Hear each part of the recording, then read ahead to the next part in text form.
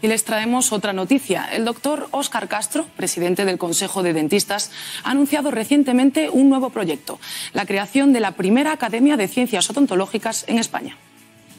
Este proyecto, en el que se lleva trabajando más de una década, pretende culminar con la creación de la primera Academia de Ciencias Odontológicas que estará ubicada en Murcia.